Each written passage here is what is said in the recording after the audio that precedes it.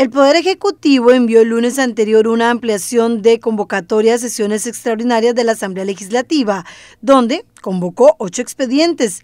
El presidente de la República, Rodrigo Chávez Robles, y la ministra de la Presidencia, Laura Fernández Delgado, firmaron el decreto ejecutivo número 44525MP, donde se convocan diferentes expedientes. Entre ellos se encuentra el expediente 24219, que busca la autorización para que la municipalidad de Pérez Celedón realice trabajos necesarios para el desarrollo del sistema de drenaje pluvial que garantice la seguridad y bienestar de los alumnos de la escuela de La Hermosa. El diputado del Partido Unidad Social Cristiana, Carlos Felipe García, presentó la iniciativa, que ya fue aprobada en un primer debate y se espera pronto la aprobación en segundo debate para que se lleven a cabo los trabajos. Una vez aprobado y la publicación correspondiente en la Gaceta, se espera que se puedan hacer las obras.